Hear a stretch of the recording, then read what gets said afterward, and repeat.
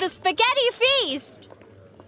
Ada! Hey, Adeline, over here. Hey, Victor, what's up? What are you doing right now? Um, taking these plates to the kitchen. Oh, how boring. How about instead I show you something fascinating? Here, sit down. Okay.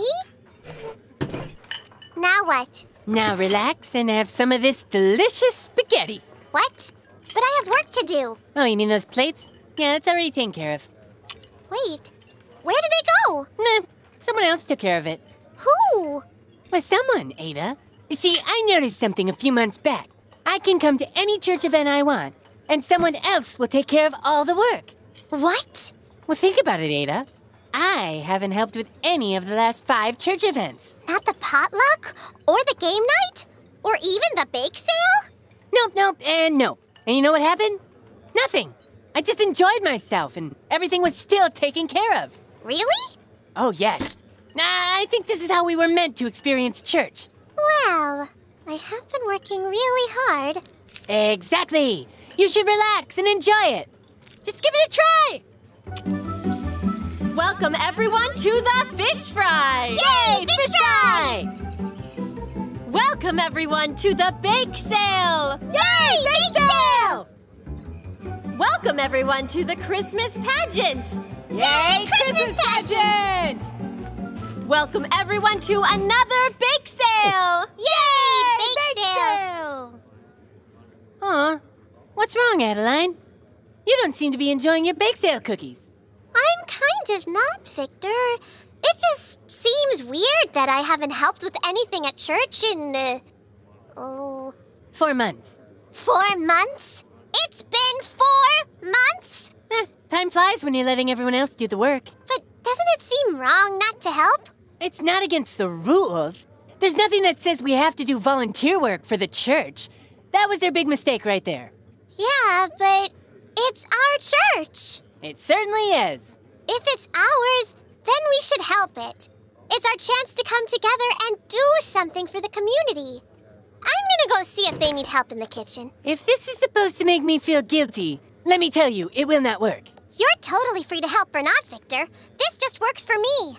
Oh, uh, okay, good. Because because even if it is just a little boring sitting here, you, you can't make me help. I wouldn't dream of it, Victor. Okay, good. Right. That's right. Because I don't, I don't have to help with anything unless I want to.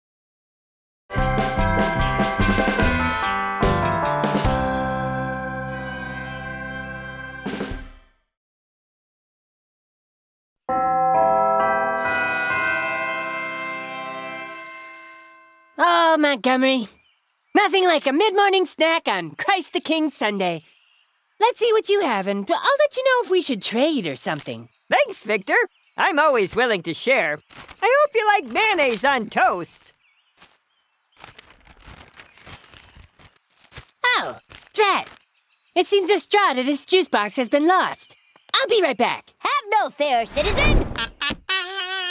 Phantasmo, defender of integrity and hygiene, is here to save you! Uh, save me, Otto? Save me from what? From having to go back inside the church to get a straw! And my name is not Otto, it's Phantasmo! Though this Otto you speak of sounds really cool. Oh, hamburger meat. I've spilled my crunchy snacks. wow. And I've saved you as well, citizen! Saved you from an afternoon without chips! This is all very nice of you, uh, Fantastico, but you didn't really save us.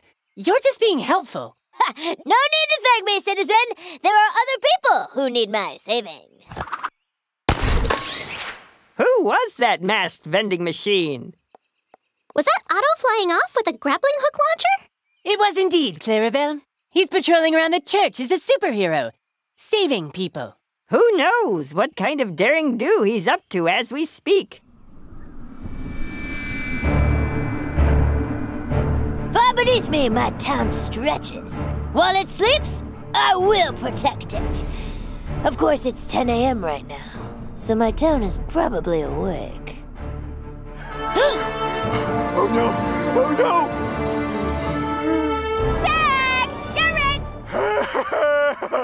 Garrett! Oh no, Fiona!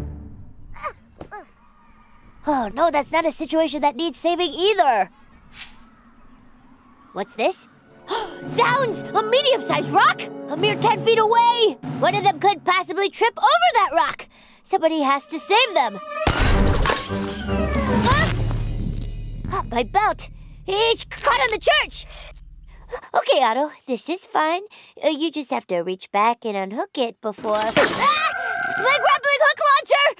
Okay, Otto, just think. Uh, there has to be a way out of this. Just stay cool. Help! Help! Someone! Anyone! Help!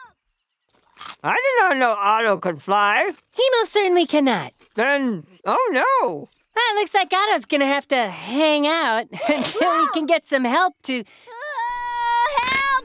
Help! Oh, what do we do? What do we do? Hold on, Otto! Oh, no! Oh, oh, oh. Otto, are you all right? I am thanks to you, Clara. You saved me. What is this? It's my inflatable raft from home. I brought it in case of flash floods. They can strike in seconds, you know.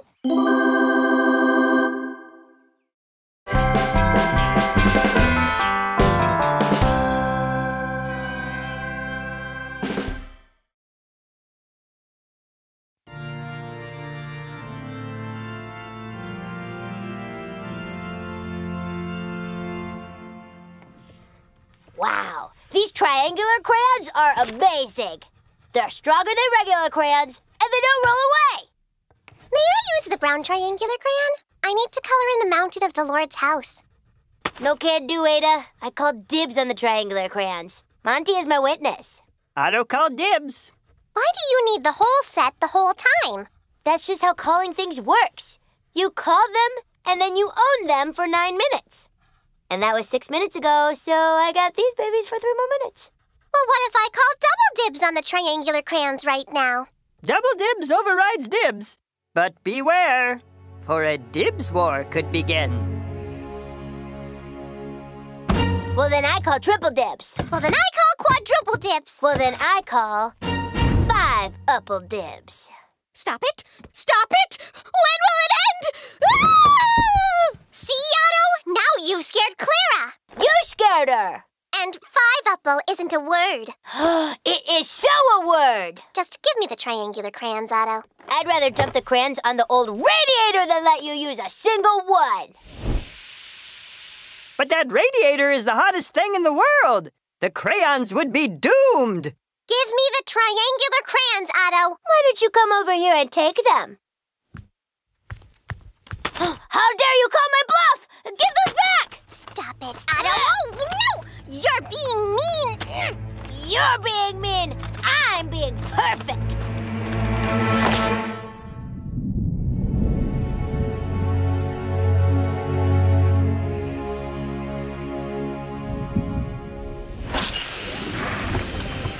No.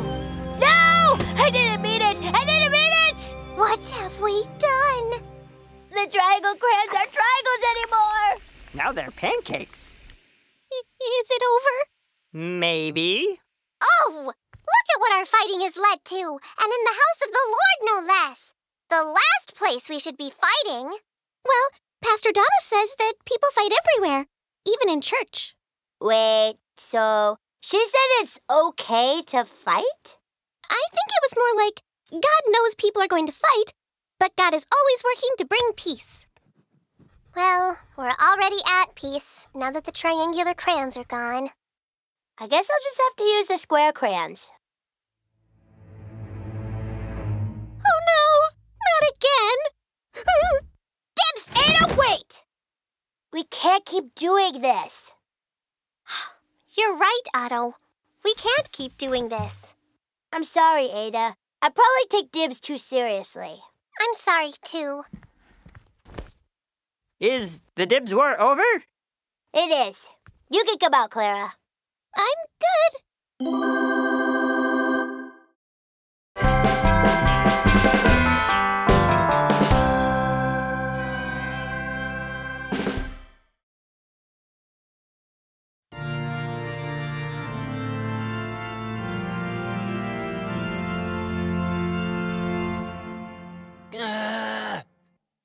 Welcome to the Advent Ambassadors Program. You're all here because you're interested in welcoming potential new members into our church. Dang! With the Advent season here, our pews will be filled with people who may only come to church around Christmas. As Advent ambassadors, it's your job to welcome them and. Please stop making those noises, Victor. Oh, but this is torture! Victor, if you didn't want to be an Advent ambassador, you shouldn't have signed up. I didn't sign up. But you keep running into my great aunt Marjorie and telling her about all these great opportunities that I'm missing. It is a great opportunity. It's a waste of time. You don't want new people in the church? Why would I? What's the appeal of new people? Mm hmm. Maybe some role playing will help. I'm sorry, did you say role playing? Victor, why don't you play the role of the new member? And Ada, you can welcome Victor. Uh, no, no, no, no. For this scene, my name will be Toledo Jack. All right. Ada, please welcome Toledo Jack into our church. Hi there, Jack. Please call me Toledo. Oh, hi, Toledo. My name's Ada, and I want to welcome Hello, I'm Toledo Jack. I just moved here from Pineapple City. Pineapple City. Wow, that's a pretty far move. It is. And on top of that, I, I don't know anyone here. It's so difficult to make friends in a new place. How's a person like me, Toledo Jack, supposed to break the ice? Well, coming to First Second Church at Christmas was a good first step. I feel so lonely. So alone. It makes me wonder if the move was even worth it. Uh, may, maybe this place isn't right for Toledo Jack. Should I move back to Pineapple City? I just want to be welcomed. Why won't anyone welcome me? I don't know what's going on. Try again. You too, Jax. so alone. We're welcoming you right now, Toledo. You are? Yeah, we can all go to church together. I feel. I feel so wonderful. I, I feel so included. Now I, Toledo Jack, the man who has never lost a staring contest, I want to help the wonderful community that is First Second Church in any way that I can. Think of all that we can do working together. Oh, thank you. Thank you so much. Thank you. Oh. And scene. Well, Victor, do you see the point of the Advent Ambassador program now? I get the general idea. All right, let's keep on training. Excellent. For this next scene, I will be Copperhead. Anthony Copperhead, secret agent.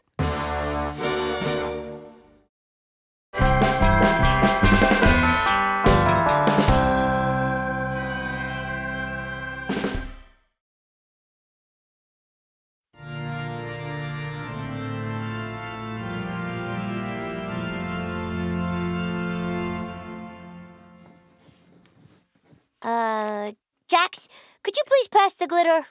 I really want this Christmas ornament to catch the eye. I think these might be the nicest ornaments we've ever made for Christmas. Last year's were, uh... Stop making decorations! Ada? You're standing on the table. This is more important than Sunday school horseplay rules.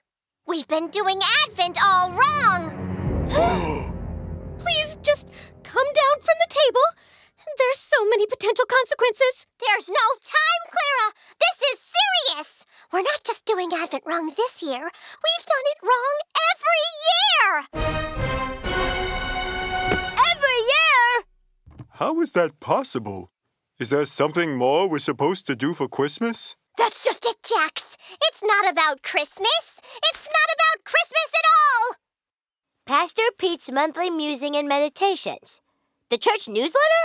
Yes, look at what Pastor Pete wrote. Things to consider this Advent as we wait for the Messiah. The Messiah?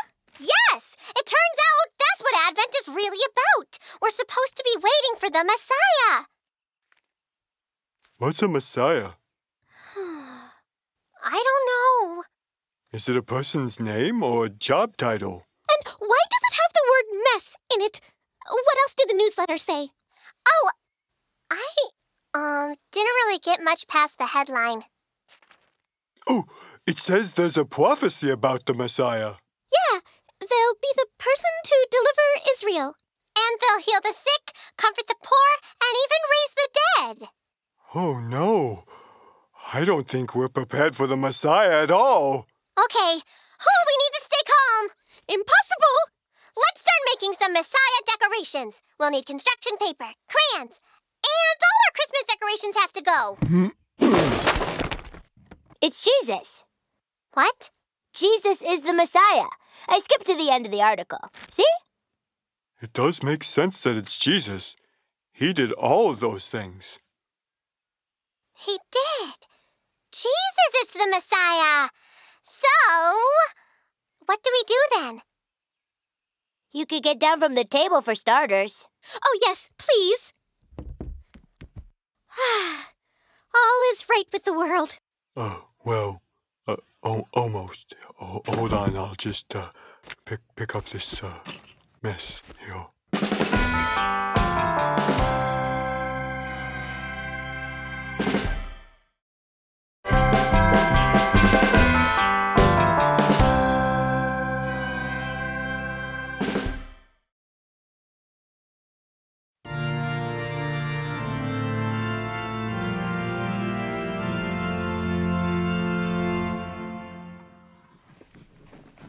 Good morning, Ottoman. Hello, Adelaide. And Monterey. How are we this fine Sunday? Those are not our names, Victor. Whatever do you mean, Adelphia? Adelaide, Adelphia. Neither one of those are my name. My name is Ada. Well, of course. Those are just loving nicknames that I've given you all for the purposes of friendship. Well, enough. It's confusing. Ottoman, do you feel the same way? Yeah, if you could just call me Otto, that'd be great. You all feel this way? Even you, Monterey Jack? Who is he talking to? From now on, Victor, one name per person. Their real name. But life is too big for just one name for everything. Even Emmanuel had more than one name. Uh, who is this? Emmanuel is Jesus, of course. Victor, you can't just give Jesus a nickname. That's too far. I didn't give it to him. Joseph named him Emmanuel. Really? Joseph named him Emmanuel? Emmanuel. It's all right here in Matthew 1. Uh, let's see here. An angel visited Joseph and gave him specific instructions for naming Mary's baby. The angel said, She shall bear a son, and you shall name him Jesus, which means God saves. Matthew then explains that this would fulfill the words of God's prophet Isaiah, who said this child would also be called Emmanuel, which means God is with us. Huh. That certainly is a good name for Jesus. Precisely. And I tried to pick names that were good fits for all of you. Like Ottoman here. I named him after the great Ottoman Empire. Bold, brave, powerful. That changes everything. Okay, but why do you sometimes call me Adelaide and sometimes Adelphia? Well, Adelaide in Old German means noble natured, which is perfect for you. You're the noblest person in Sunday school. And Adelphia is a type of flower, which naturally refers to your beauty and elegance. Oh, I had no idea. And Monty, I call you Monterey Jack after Monterey Jack cheese. You're mild, you're great at parties, and you're my favorite. Hooray! Monterey is here! Hooray! I'm the best! Go, Monterey Jack! See?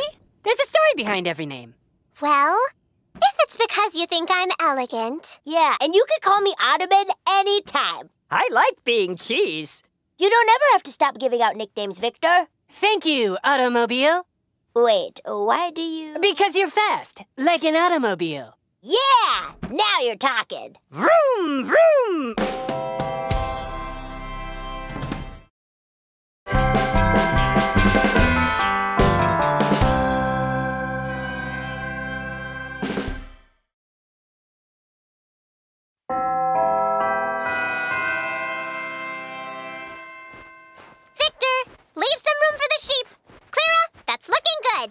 This year's special nativity scene is gonna be extra special. Thanks to my beautiful layout design. Right there, Otto! No, a little to the left. Here? Too far! Jesus is the Messiah, Otto. He brings good news and great joy to all people. He has to be perfectly center. Here? Split the difference. Perfect. great work, everyone! I'll go tell Pastor Donna we finished in record time. Um, Monty. Mrs. Claus wasn't in Luke's account of the Christmas story. True, true. But it wouldn't be Christmas without Mrs. Claus. Well, it was. For hundreds and hundreds of years, did anybody see where Monty found that Mrs. Claus statue? No, it just kind of appeared. But while I have your attention, do you care where I put the off-brand cola penguins? I mean, it wouldn't be Christmas without the off-brand cola penguins. Yes, it would. I'll put them by Jesus. No! Do not put those penguins by Jesus! Ada, do you have a preference for where to put the tiny percussionist youth and magically alive snowperson character? I'd prefer they be left out entirely. Ada, it wouldn't be Christmas without the tiny percussionist youth and magically alive snowperson character. Oh! Don't worry, Ada. I brought my limited edition holiday my-size Chromobots. They're from Japan. There were no Japanese robots at Jesus' birth. That's true, but the Chromobots can time travel. Make way for Mr. Holiday Ball. Make way for Incredible Tony. Make way for Tiny Tim and the entire cast of Christmas Carol. I. what? What is happening? Ada, where should I plug in the light and sound system? Sound system? Oh, there's an outlet.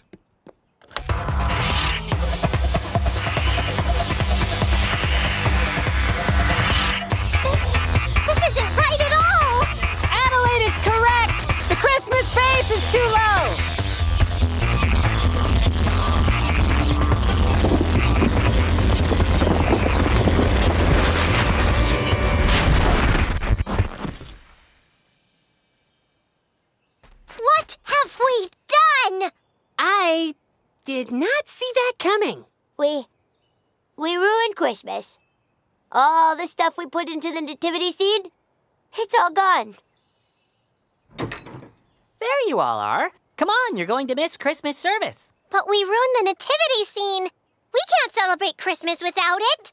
Of course we can. Lights and decorations are fun, but you don't need them to celebrate Christmas. Now let's go. So, what do you need to celebrate Christmas? I don't know. All I know is that we're gonna have a lot of cleanup come spring.